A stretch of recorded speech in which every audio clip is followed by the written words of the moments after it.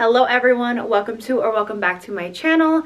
Mandi here. I am a mom to a one and a half year old little boy and in today's video I'm going to be sharing with you how I've really maximized his room to obviously house his sleeping equipment and to be a bedroom but also to be his playroom.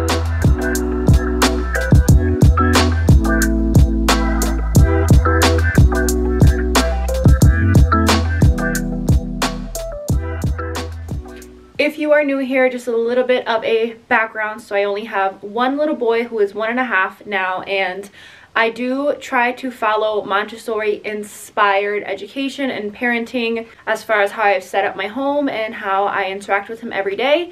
And so our current condo is not big enough to have a complete separate playroom. This is a two bedroom. So I had to make the most out of this space. And in today's video, I'm going to be sharing with you every detail of his room, how I organize his toys, how I've effectively kind of married the playroom and the bedroom together. Uh, we don't have any issues with it. He knows when it's playtime, it's playtime, and it, when it's sleep time, it's sleep time, and um, it's not really a cluttered space, and I it took me a while to get here, but I'm really happy with where we're at right now. I'm sure I'll change other things, but if I happen to skip over something or I don't mention where I got something or whatever and you have any questions leave them down below and I will try my best to get back to you uh, mostly everything I'm going to try and also have linked for you just to make it easy uh, if you are trying to transition into Montessori yourself my dog just crashed in Alright, that's enough blabbing. Let's just get into the room tour. This is what you see when you walk in. I'm going to close the door behind me. And I think I'm going to start with the sleep portion because honestly, it's the easiest part. It's really simple. So right here at the front of the room, as soon as you turn around, this is his little like self-care station. Hello. This little mirror is from Walmart, super affordable.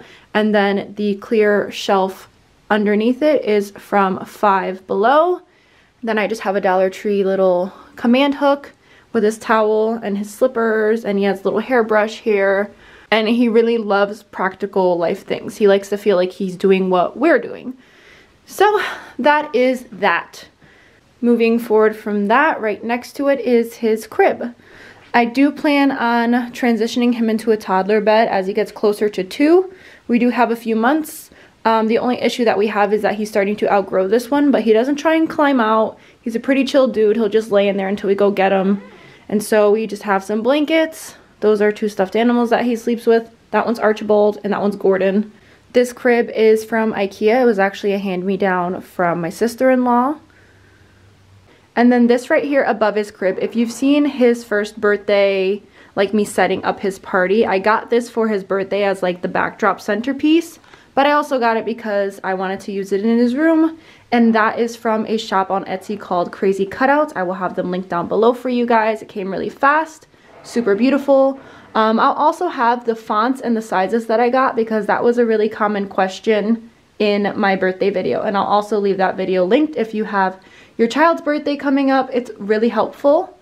Next to his bed on the floor, I keep his sound machine and his monitor. He really doesn't touch these and this outlet is actually connected to that um, light switch so when he's up I just turn it off so he can't even like use or press these buttons. We have a lamppost and then we have a rocking chair slash recliner.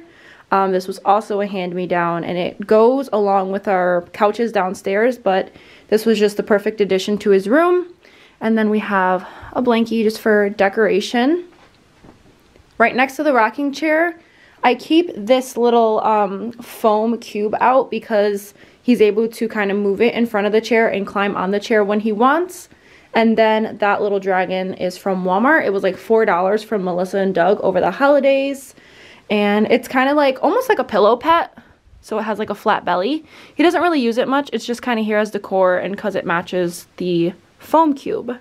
And then um, I always keep this little I don't even know. It's like an activity cube out. My best friend's mom got it at the thrift store. Um, these can get really pricey, so I would definitely recommend checking out your local thrift store because apparently these are pretty common there. And tucked in this corner, I have the rest of his foam blocks. I typically leave them tucked in his closet, like next to the dresser in that corner, but he's been using them and enjoying them a lot more lately, so I just have them hidden behind his teepee for easy like pulling out access. And that leads us to his teepee. We got this teepee also for his birthday as like the gift tent and for decoration, but I knew I was to also use it in his room. So in that video, I mentioned that I wanted to have a lot of multi-purpose stuff. And that's exactly what I have here. So he loves this teepee. He'll go in there and, you know, bring his cars and his books. He loves the little window on the side here and we'll play like peekaboo with it. And his best friend really likes it too and they kind of just go in there and hang out. And i'm sure as he gets older this will be like his safe space. Inside of the teepee is this is actually a dog bed from ikea but it looks like a little montessori couch. So it kind of comes out like that. He sits on it like a couch. He only really leaves it like that and it's a little sitting area for him I also want to mention that this teepee was one of the most affordable ones that I can find on Amazon. So if you're in the market for a good teepee, this one has been great for us and it was super affordable. I'll have it linked down below for you.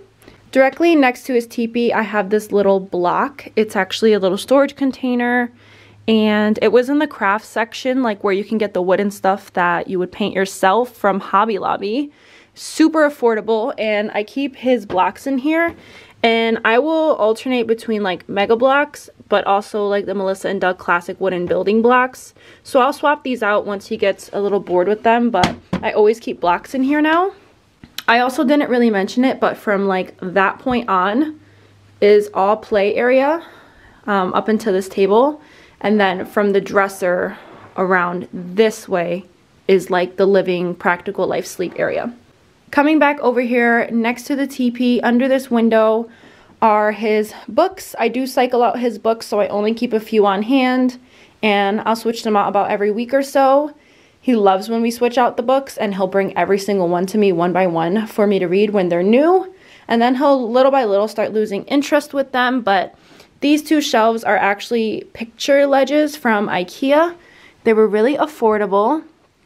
And then I made this little sign for him with sticker paper and my printer. And this um, wooden plaque was actually the top of a mini table from Five Below, but he broke it. And so I figured I might as well use it for something. And then we have a blue because he does love Blue's Clues, which is sweet because I grew up loving Blue's Clues too. So now my son gets to watch it. This is his open shelving system. Um, and if you're unfamiliar with Montessori, pretty much everything Montessori is child-led, child-level, where he can see everything, choose what he wants to do, and I basically follow his lead. So every week or so, I will go and rotate out these toys. Today's actually a toy rotation day, so this stuff he's already super bored with. But we'll start on top. So I got these three frames from the Dollar Tree, and then I just printed out some photos of his favorite things. As far as this week's toy rotation goes, I'm not going to get super involved in like every single toy that I have out for him because I have a whole other video about toys for him and I will leave that one also linked up above so you can watch it if you're interested. I show you exactly how I've organized his toys, why I rotate them, all that good stuff. And then we have my dog sleeping on this mat. This mat was also a hand-me-down. It's one of those just like gym foam mats. And the last thing on his play side is his little table. This table is from Ikea. Um, I feel like most parents to toddlers have this table. It is literally, I believe it's $30 or under for the table and the chairs. So we do a lot of crafting here. We play with our Play-Doh, we paint, we do all of that good stuff on this table. He loves to sit down on his chairs. And then just like I made his little plaque, I also printed out this play sticker. It's almost like a wall decal and this is from Maria Montessori. She said that play is the work of a child. So I have that there just as a little ode to Maria Montessori. And then up above, um, on top of his table and his open shelving toy system, I have some artwork of his and it's just two nails with some twine, string, and little mini clips. All that stuff I got from the Dollar Tree. And he loves stickers right now, so I have his sticker artwork, but as he, you know, makes more art, I'll swap it out and just so he can see that we're proud of his work, we display his work, and he gets really excited to like look at it. He'll point to it and gasp and all that. That actually concludes the toy and play area.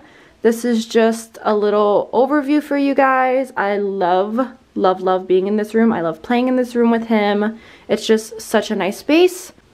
And then I'm just briefly going to go through his closet. Up top, I keep spare blocks. I keep his musical instruments. And in there, there's just cloth diapers. Back there are stuffed animals that he doesn't really use, but I'm going to keep them because they have sentimental value. The classic Montessori rainbow block set. And then some spare books. That's just like storage and stuff back there. These are random clothes that they don't really need to be hung up, but I guess I have them hung up anyways. To the right in this corner, I keep his jackets and outerwear and spare hangers. It's summer now here, so he's probably never going to be wearing this stuff. And then back there in his closet, I just keep spare larger toys that out of sight, out of mind, you know what I'm saying?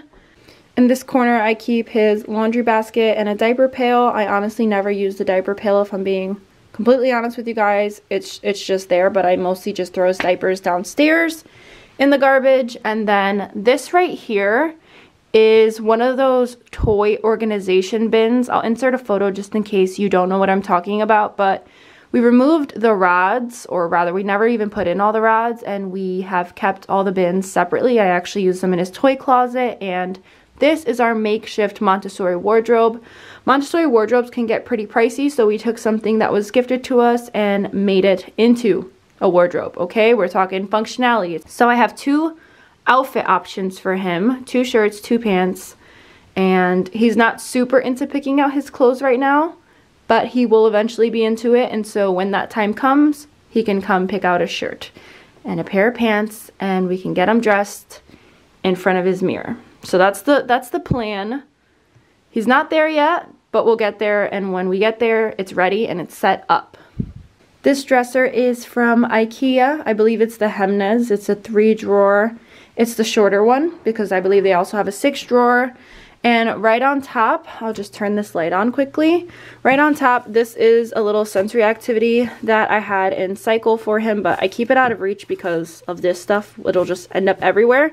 And it's just a little dinosaur rescue activity. I do have to switch this out because he's so bored with it. Then I just have like lotions, his little Elmo, a toothbrush, um, some artwork, some bugs. We were playing with bugs a couple days ago. And I don't use this to like change him or anything. It's literally just a dresser. He gets dressed standing up now. These drawer organizers are from Amazon. They're probably the most affordable ones that I can find. And so I just have his shirts, his socks, um, pajama sets, diapers, uh, wipes and creams and things like that. And training underwear, which we don't really use yet, but we're getting to that soon. I just don't feel like he's ready yet. And then in the second drawer, it's all pants. On this side, shorts and then extra shoes. He really doesn't wear these. He only wears his Crocs. He swears by them. He's wearing them right now, as a matter of fact. And then, listen, real life mom moment. This is my junk drawer. This is just where I keep stuff that I don't know what to do with. All of this stuff can probably go in the attic because it's either outgrown him or I don't use it bibs and changing pad covers. This is just the catch-all drawer and could probably use this to store something else, but I haven't gotten to needing that space yet. But that's a project for another day.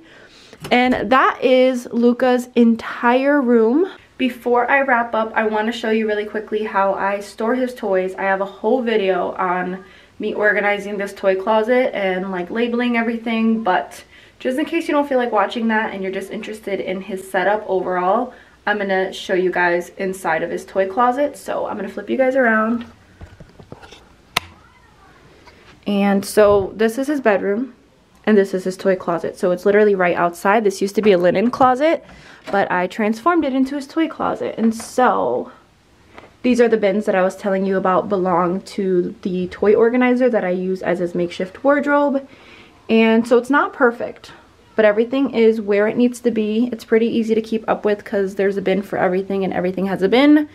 It mostly gets messy because he knows how to open doorknobs now, so he'll come in here and kind of like grab a few things. I try and keep him out of it, um, just so these toys remain like a marvel to him, and when they cycle in, he's more excited about them, but uh, he does manage to get in here and make it a little bit messy, but so far so good. Since I've posted the last video, we've been pretty good with keeping up with it, and I've loved, loved, loved rotating his toys with the closet set up like this. It makes it super easy, and I love it. So, yep, toy closet and our bedroom, which is his playroom, as well as where he sleeps at night. So that is it. That is Luca's Montessori-inspired bedroom and playroom tour. I hope that I gave you some ideas if you were interested in implementing Montessori into your life or even if you just don't have enough space in your house and you kind of have to make the bedroom into the playroom as well. Um, or if you're struggling with toy storage or whatever, I hope that you got some inspiration from this video if you have any questions or even any recommendations as to like how I can optimize the space even more, I'm very open to that. Leave a comment down below. I would love to have a conversation with you. I'll do my best to get back to all of you. If you stuck around and watched the entire thing, thank you so much. I appreciate you so much. Thank you for being here. It means a lot to me. If you enjoyed it, give this video a thumbs up. And if you want to see more content like this, consider subscribing leave a comment down below what you would like to see um, just because I want to create content that would be beneficial to you. So that is all. I hope you guys have a great week and I'll catch you on the next one.